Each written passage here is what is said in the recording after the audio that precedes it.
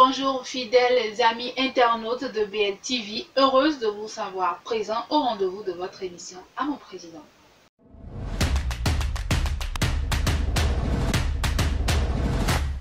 À mon président, c'est ce créneau par lequel les citoyens sont invités à adresser un message au président de la République.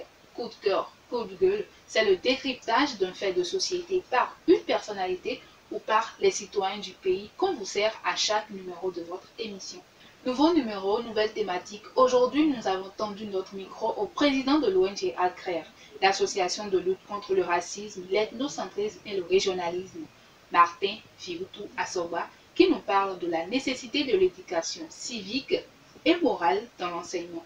Quel est le contenu de son message? Suivons ensemble. Je voudrais attirer l'attention du chef de l'État sur le fait que, en ce moment, il y a une réforme qui doit s'opérer pour permettre à ce que l'éducation civique, morale, l'éducation à la citoyenneté, soit introduite dans le cursus scolaire de la maternelle au primaire, du primaire au secondaire et du secondaire à l'université.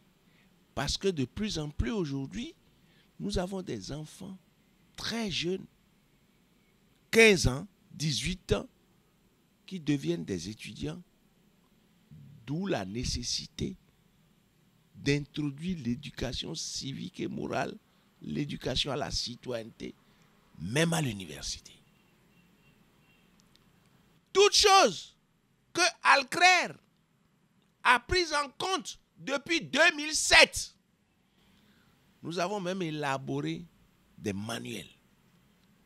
Nous parcourons des établissements pour aller apprendre aux enfants, à nos concitoyens, comment est-ce que nous devons tous être citoyens pour pouvoir faire rehausser notre pays sur le plan de la citoyenneté. Nous allons apprendre dans les établissements, dans des centres de formation, l'hymne national. Nous allons même à l'université pour apprendre aux universitaires à chanter l'hymne national dans les trois couplets. Et nous, finissons de leur apprendre à chanter l'hymne national. Nous, les informons des messages que véhicule chaque couplet de notre hymne national. Et ce, depuis 2007. Donc nous voudrions que le chef de l'État ait un regard aussi bienveillant par rapport à cette question.